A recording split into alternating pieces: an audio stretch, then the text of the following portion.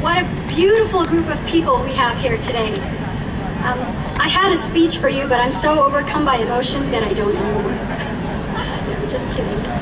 Um, my name is Hina Qidwai, and I speak to you today as an American Muslim mom who has brought her first grader to this beautiful event, telling her that this has been organized by the townspeople of Joplin for their Muslim neighbors.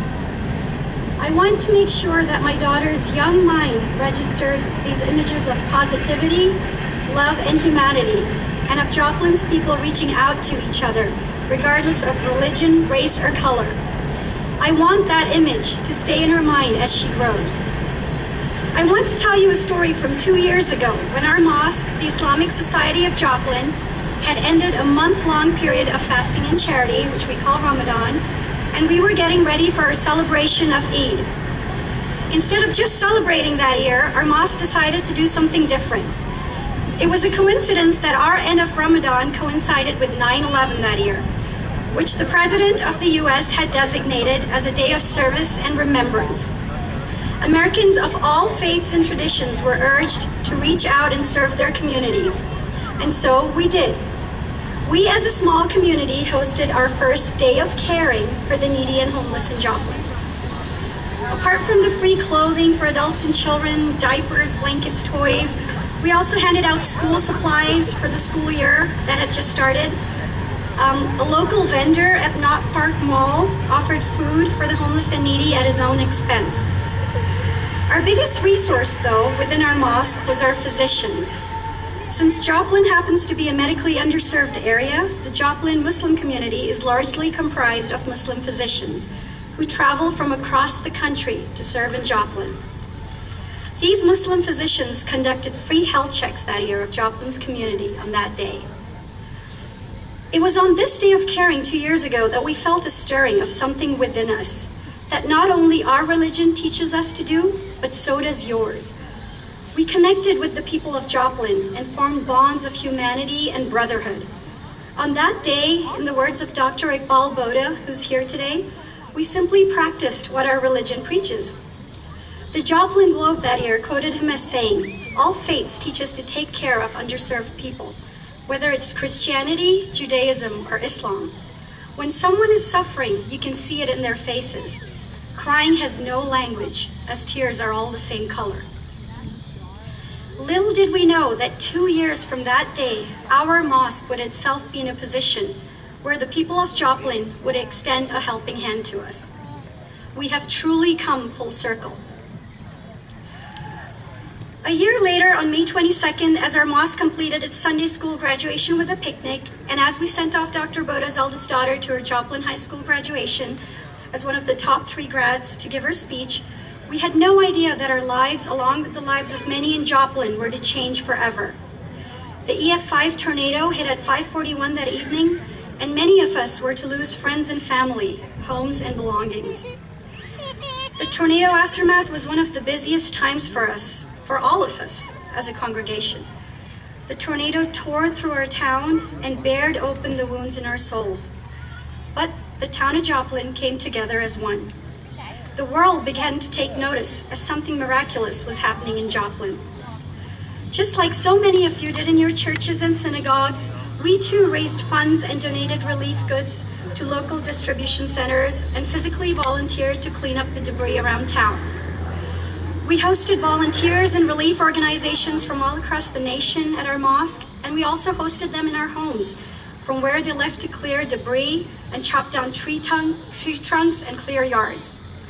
My most poignant story of volunteers at that time was of a Muslim family who drove down from Cape Girardeau, um, of a Muslim physician, Dr. Ahmed Sheikh, and his wife, and they drove down with three of their sons, all under age eight.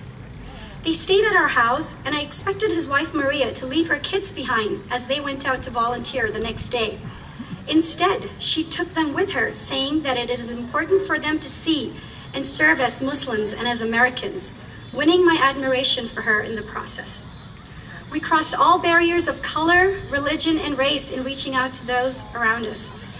It is my honor to say that we have present amongst us today members of Catholic Charities and members of the Islamic Circle of North America, ICNA, which are both organizations that we worked hand in hand with at our mosque after the tornado. I'm proud to say that ICNA is here once again uh, today, as, and they, of their own accord, have provided over 500 backpacks as a gesture of goodwill to Joplin students going back to school. And the last I heard, you're going to clap at what comes next. The last I heard, students from Missouri Southern State University were responsible for staying up late last night and spending hours in filling those backpacks and getting them ready to be handed out today. Saudi students.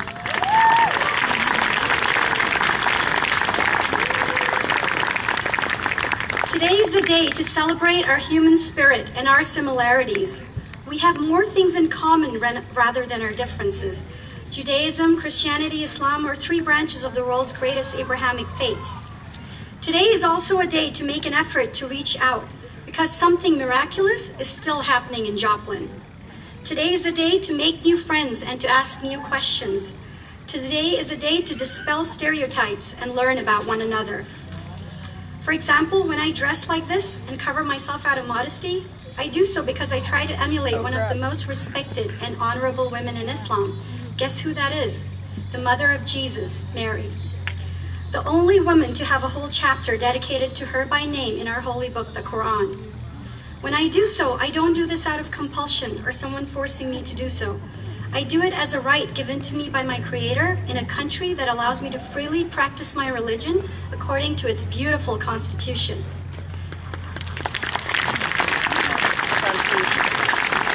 Muslims from around the world prefer to settle down in the U.S. for many reasons.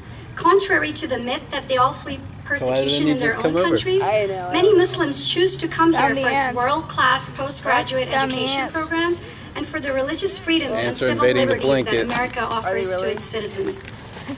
When we fast in Ramadan, we fast as Jesus did, as a sign of submission and humility, and neglecting the physical needs of the body while nourishing our souls. When we reach out to you and believe in equality amongst people, we Ow. do so because to us, that's the message of Jesus, Abraham, Moses, Noah, Muhammad, and do? all the great messengers who came bearing the same message. Peace and blessings be upon them all. When we worked alongside people of different faiths and backgrounds after the tornado, our faiths, just as yours, taught us to do that. We all believe in building bridges. Recently, we have been asked a lot as to why we haven't responded with anger to our mosque burning. And our answer is, it simply isn't our place to punish or respond with anger. We believe that every soul has to answer to its creator, and it is no one else's right to punish. In fact, we can forgive, and that is immensely rewarding.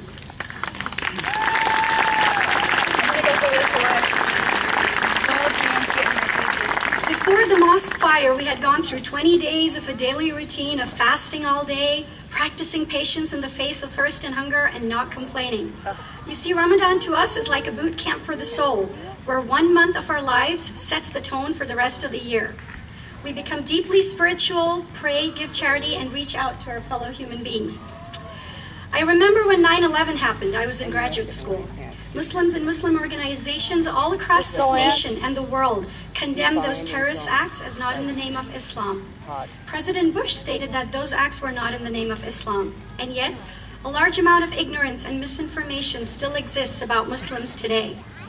Large numbers have, of people have stereotypes about Islam and yet have never met a Muslim person or are unaware of what is common between us.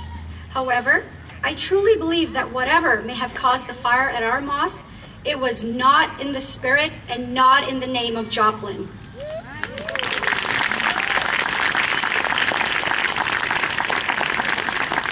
I hope that someday all of our kids grow up to be like Ashley Carter, who wasted no time in reaching out with love and humanity, with positive energy and goodness and she was able to bind people together and set off a chain of events that resulted in one good act after another. When I first met Ashley at our Eid lunch, her simple wisdom bowled me over. She said with a calm maturity that it was very important for her to reach out and overwhelm any act of hatred with many acts of love. It is my honor today that I stand here with you, Ashley Carter, and I'm proud to call you one of my dearest friends.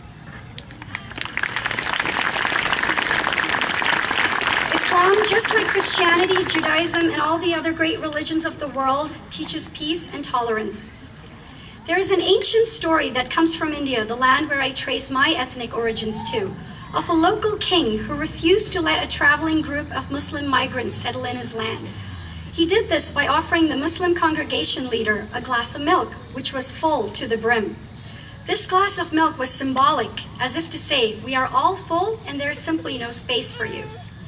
The Muslim congregation leader asked for a spoon of sugar and gently mixed it into the milk and stirred it in. He then said something very symbolic in return.